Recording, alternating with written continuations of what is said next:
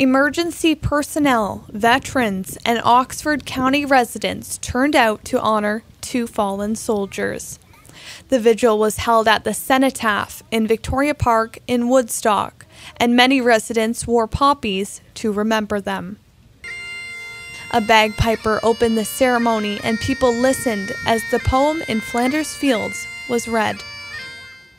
Flanders Fields, the poppies blow between our crosses, row on row that mark our place, and in the sky the larks so bravely singing fly. Scarce heard among the guns below, we are the dead, short days ago.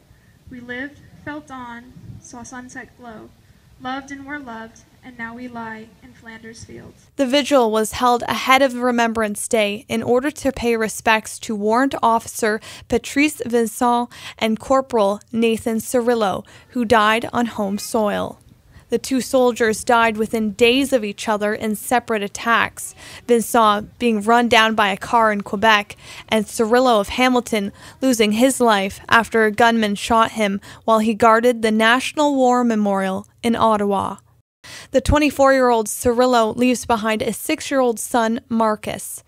Local resident and reservist Sean Noon remembers meeting Cirillo on several occasions while stationed in Hamilton he was an amazing man. One thing I do know is he was he loved his son, and he loved his regiment. He was proud to be an Argyll, as they all are. He was proud to wear the colors, and he was proud to serve Canada, and wear the flag on his shoulder. People who were present at the ceremony bowed their heads during the moment of silence for the men. The Woodstock Royal Canadian Legion put the vigil together, and one speaker had this to say.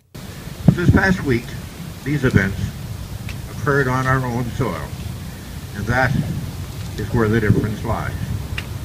So we gather informally, perhaps, as we will formally on the 11th of November, to remember service, life given, and life sacrificed.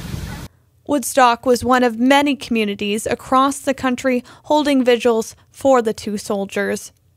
Following the ceremony, residents took the opportunity to spread flowers and light candles on the steps of the cenotaph. Lest we forget. For Heart of FM News, I'm Megan McFadden.